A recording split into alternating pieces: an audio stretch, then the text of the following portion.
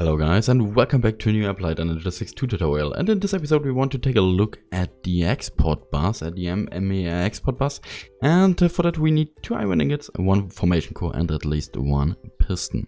And the uh, ME exported pump bus is a very important item um, for your Applied Energistics ME system and um, I will show you how it works. Um, we have a ME controller we have a ME drive, we have a ME terminal with a Fluix ME glass cable, and you need to connect these chests to your ME system. So that means uh, you need to shift right click ME export bus to your then in um, to your chest, okay? And you need to connect uh, this um, with your um, ME system with cables. Um, you can use the Fluix ME glass cable or you you could also use the um, the smart cable uh, with eight uh, channels, so um, you're be free by um, your cable cho choice.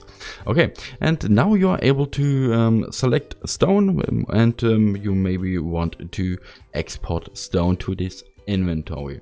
So that means you need to uh, filter, you need to set up this filter here.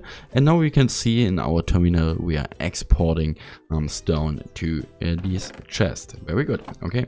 And um, we can see that uh, we need a lot of time and if you have a lot of items um, you want to make it faster. So you can use some acceleration cards. We need back this stone and we place it in back to this terminal and we can see uh, it is instant um, exported to this chest. Through the acceleration cards. The, uh, these acceleration cards are very fast Okay. Um, the next thing we need to take a look is um, at the, the capacity card. So if you place in one capacity card, you uh, can see that we have uh, five um, um, five opportunities to select a, an item. And if we place a second card, we have nine opportunities to select an item. That means um, actually we have only stone which is exporting.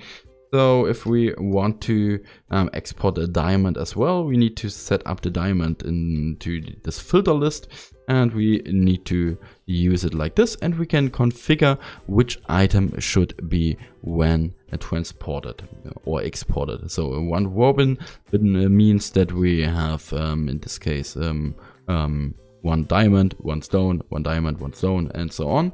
And you can also use the export items in random mode. That means you can see um, it's completely random. You can't uh, define it. It's it's random. Okay, and um, yeah, that's um, how um, the capacity card is working. So, okay, we go back and we can also use um, the, the uh, redstone card into the ME export bus. That means um, we need to configure the left side active with signal. We need a lever like this. And um, actually we have set up stone, okay, and if I place in some stone, we can see nothing happens. That means I need to set up the lever as on and we can see our ME export bus is exporting um, stone into the next inventory. In this case, it's the chest. Okay. And at least we need to take a look at uh, the fuzzy card. And the fuzzy card means um, that you can control um, which durability item should have into this um, inventory you want to um, give this item.